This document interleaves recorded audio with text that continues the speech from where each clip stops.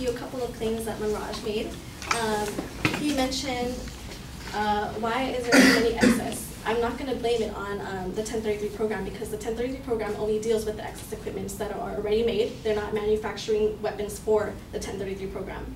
Um, and concerning the baby boo-boo, um, how there was a grenade, the affirmative didn't mention why they even went inside, uh, the house or even threw the grenade in the house.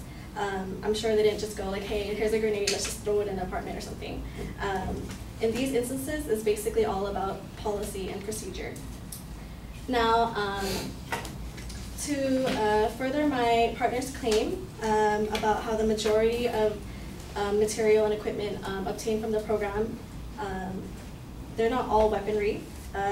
According to the Honorable Claire McCaskill, she mentioned um, in the Congressional Digest that overall approximately 96% of the property provided to law enforcement agencies has been non-controlled property. So like Jared had mentioned earlier, um, this can include anything from commercial vehicles, office furniture and supplies, generators, tents, tarps, toolkits, first aid kits, blankets, safety glasses, hand tools, um, storage containers, lockers, shelving, and forklifts, um, or even vehicle maintenance. Um, and only approximately 4% of the property provided by the program is controlled, which is um, the actual like MRAPs or uh, military design equipment um, themselves.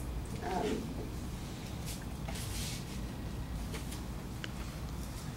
um, now, these, uh, the 4% of the military weapons can include protection, not just um, offensing um, the citizens.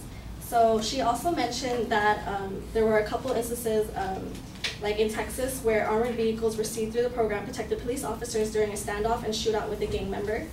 Um, she also mentioned that during a 2013 flood in Louisiana, um, Livingston Parish Police used six HMMV WVs to rescue 137 people. So it can also be used in natural disasters as well, um, because sometimes the equipment already um, are available, they're just not good enough and they don't provide enough security for police officers to go out there and do their job.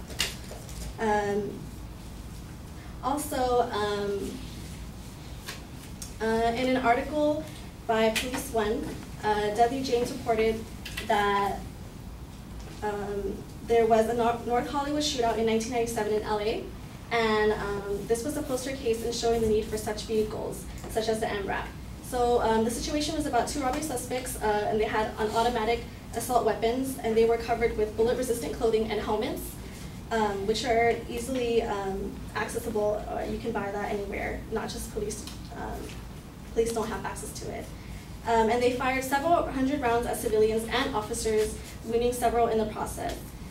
Um, so that's an example of where these equipment from the 1030 1033 program would serve as um, efficient. Um, um, additionally, the New York Times also reported that Kevin E. Wilkinson, um, a police chief, he said that he wished that the um, right now it would be the way that it was when he was a kid. However, he did um, he did mention that there is a possibility of violence. Uh, no matter how remote, it also requires taking precautions. He quoted, "We're not going we're not going to go out there as officer friendly with no body armor and just a handgun and say it's just good enough because it's really not anymore.